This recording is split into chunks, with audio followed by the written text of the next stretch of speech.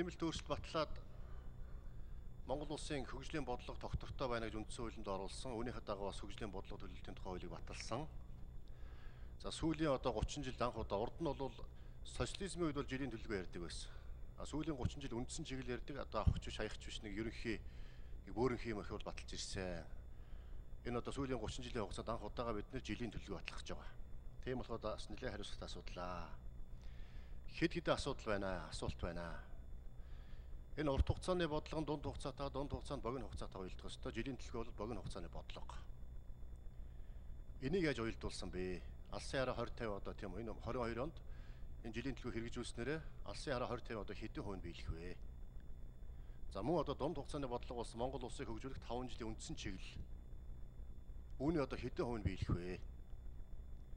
За мөн одоо 4 жилийн засгийн газрын үйл ажиллагааны хөтөлбөрийг баталсан байгаа. 200 59 зорил засгийн газрын үйл ажиллагааны хөтөлбөрт байж байгаа. Үүний одоо хэдэнд биелэх вэ? Өөрөөр хэлэх юм бол 22 он болвол үндсэндээ засгийн газрын үйл ажиллагааны хөтөлбөр хэрэгжих үндсэндээ одоо 2 жил хагас хугацаа өнгөрч байгаа. 24 он хүртэл. Энэ 2 жил хагасын хугацаанд бид нар үндсэндээ засгийн газрын үйл ажиллагааны хөтөлбөрийн 60% биелсэн байх ёстой. Монгол улсыг хөгжүүлэх 5 жилийн одоо үндсэн чиглэлийн 50% биелсэн байх ёстой. Ингээд үзэх юм бол та бүхэн одоо үнийг хэрхэн яаж үнэлж дүгнж байна вэ гэсэн нэгдүгээр асуулт байгаамаа. За хоёрдугаарт нь уул нь бол хөгжлийн бодлого төлөвлөлтийн тухай хуулинд бид нэр тодорхой төсөл арга хэмжээг хэрэгжүүлэхэд төлөвлөж оруулж их ёстой. Гэтэл одоо зорилт арга хэмжээ ороод иржээ. Зорилтууд манд ерөнхий байна. Тухайлах юм бол 273 сургууль, 200 цэцэрлэгийг эх 4 жилийн хугацаанд бид нар барьж байгуулна гэж засгийн газрын үйл ажиллагааны хөтөлбөр суулгасан. А гэтэл энэ хөтөлбөр дотор 22 онд хэдэн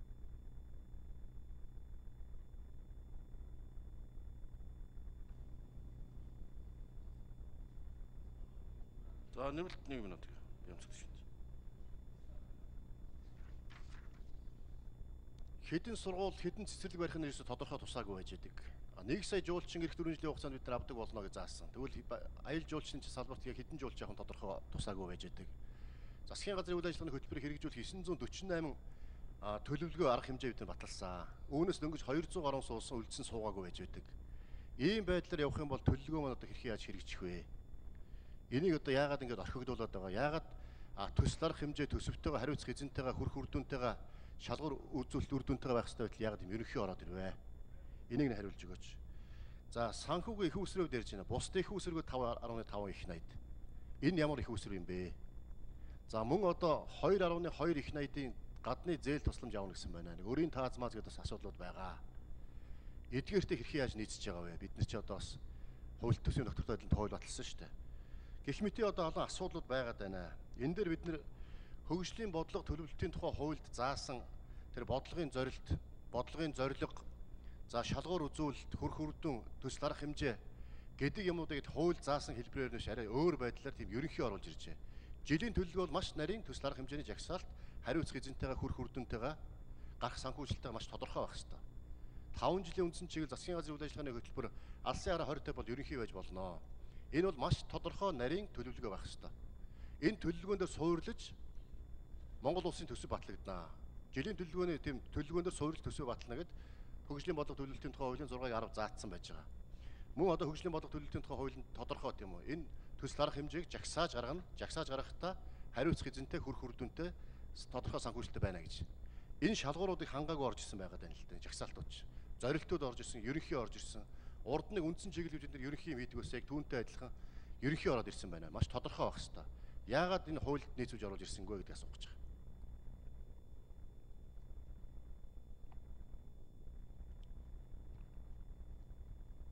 Заагийн хариулга. За нэмдэр цайд 80 дугаар мөр.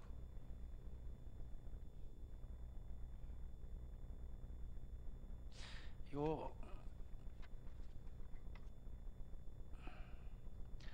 Үндэсний хуулийн газрын дарга Бат Жаргал хариулна. Бас сайд нар ирсэн байгаа хариулна. Аа энэ нэг жилийн төлөвлөгөөний тухайд энэ анхудаага орж ирж байгаа баримт бичгэлтэй энэ хуулийн дагуу цаашдаа ер нь боловсронгуйлгаж сайжруулах шаардлага харагдаж байна. Энэ чинь тэр нөгөө 50 он хүртэлх 30 жилийн баримт бичгийг үндэслэх шаардлага байна. 5 жилийн үндэсний чиглэлийг үндэслэх шаардлага байна. Засгийн газрын мөрийн хөтөлбөрийг үндэслэх шаардлага байна. Төсвийн хүрээний мэдээллийг үндэслэх шаардлага байна. Тэр тэрийг та бүхэн сая баталсан их хурл. За цаашлаад наривчлаад 2020 оны төсвийн хуулийн төсөл тэр хуулийг дагалдаг хөрөнгө оруулалтын арга хэмжээний жагсаалт гэдэг юм орж иж батлагддаг. Ийм улам баримт бичгийн баримт бичгийн дундаа явж байгаа ийм жилийн төлөвлөгөө. Анхных гэдгийг би тэмдэглэж хэлж байна. Цаашдаа эднийг уялдуулах шаардлага бас байгаа гэдгийг хэлье. Тодорхой арга хэмжээнүүдийн хувьд бол 5 6 өсөлтөр та бүхэнд энэ 263 арга хэмжээг их өсвөртэй тавьчихсан байгаа. Мэдээж хэрэг их өсвөр бол 100% гаргахад төвөгтэй хагаслах боломж харах шаардлага гарна. Одоо жишээ нь энэ сая жуулч нь оруулах ёстой гэдэг яриа гарч байна. Энэ жил бүх дэлхий энэ ковидоос шалтгаалаад хорионд орчихсон байж хахад сая жуулчнаас асуудал ярихд хэцүү шүү дээ. Сая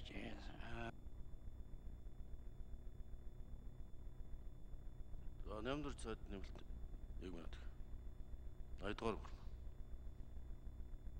Тийм тэгээд энэ цаашдаа ирнэ жилийн төлөвлөгөө гэдэг юмыг ямар хэлбэрээр гаргах юм гэдэг бол өөр асуудал болчиход байна.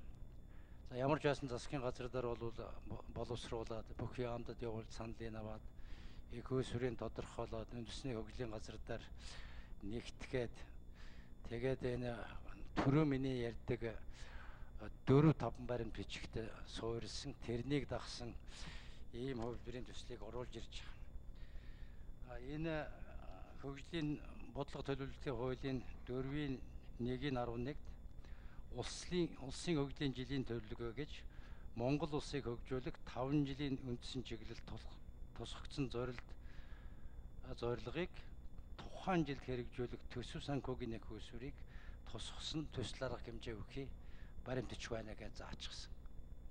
Яалтчгүй нөгөө